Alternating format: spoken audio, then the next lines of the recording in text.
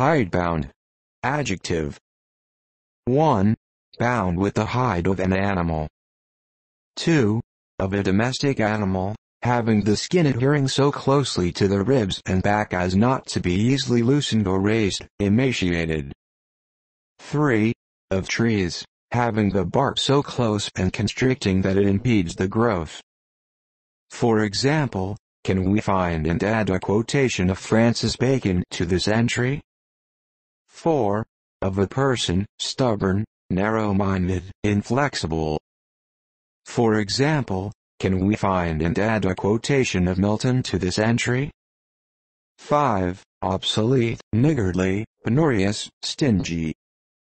For example, can we find and add a quotation of Quarles to this entry?